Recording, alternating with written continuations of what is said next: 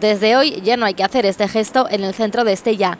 La zona azul desaparece y aparcar en esta zona de la ciudad es gratis. Me parece muy bien, si, siempre que salgamos ganando los usuarios, ya pagamos impuestos también por el, por el tema del impuesto de circulación y todo esto. Bien, me parece.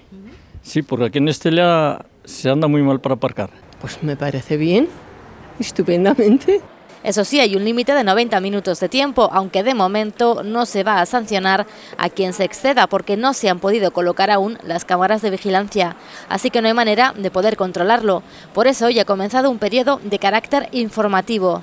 Hay muchos que piensan que lo positivo de la medida se va a volver en su contra. Porque claro, ahora vendrá la gente, aparcará el lunes y, a ver cuándo lo retira. No lo vamos a cumplir porque joder, qué, bien. Oye, gratis, pues, pues ala. Los comerciantes piden que se respete ese límite de 90 minutos. Si realmente hay, digamos, a la hora de aparcar más posibilidades, mejor, pero que luego se respetaría, lógicamente, el tiempo que, que se limita, ¿no?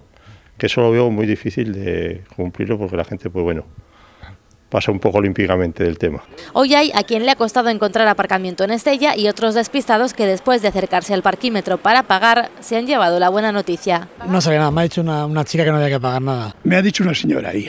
¿Y qué le parece? Oye, estupendo, algo ganado. A lo largo del día todos los parquímetros del centro de Estella serán retirados.